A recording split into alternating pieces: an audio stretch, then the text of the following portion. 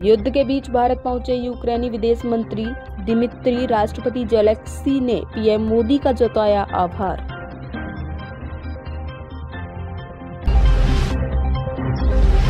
दक्षिण अफ्रीका में भीषण सड़क हादसे के बाद बस में लगी आग 45 लोगों की दर्दनाक मौत।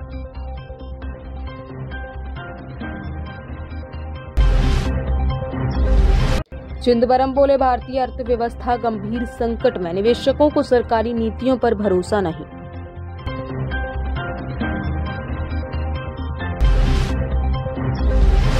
मुख्तार अंसारी की मौत के बाद पूरे यूपी में धारा 144 लागू, कई जिलों में बढ़ाई गई सुरक्षा।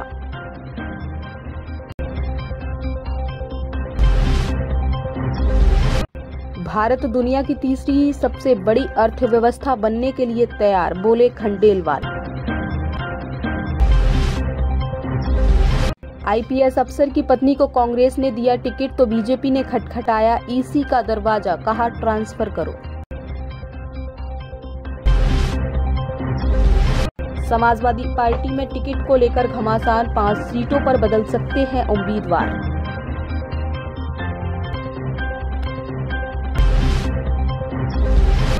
दादा अंग्रेज़ों से लड़े नाना महावीर चक्र विजेता। कांच की गोलियों से खेलने वाला मुख्तार ऐसे बना खूखार अपराधी।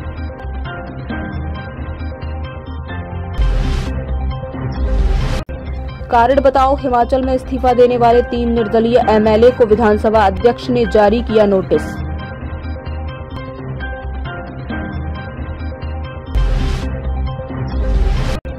नगीना से करेंगे मायावती के भतीजे आकाश आनंद, यूपी में रैलियों की शुरुआत।